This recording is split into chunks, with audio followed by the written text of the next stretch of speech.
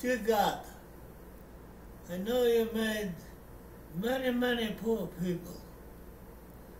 I realize, of course, it's no shame to be poor, but it's no great honor either. So what would be so terrible if I had a small fortune?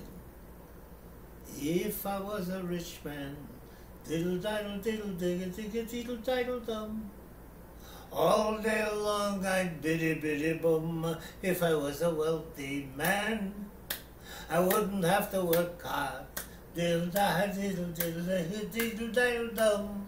If I was a bitty bitty rich, digga digga diddle diddle dum, I'd build a big tall house with rooms by the dozen right in the middle of the town.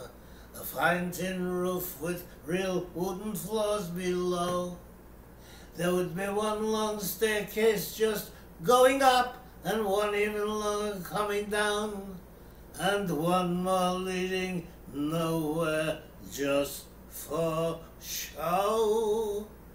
I'd fill my yard with chicks and turkeys and geese and ducks for the town to see and hear, squawking just as noisily as they can.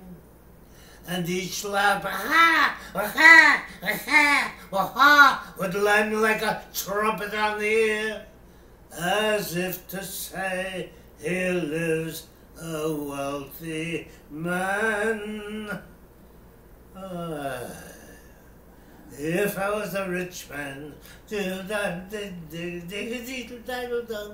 all day long I'd biddy biddy bum. If I was a wealthy man, hey, I wouldn't have to work hard. Diddle da diddle diddle diddle diddle dum. Lord who made the lion and the lamb, you decreed I should be what I am.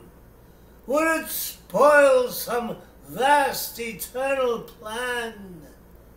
If I was a wealthy.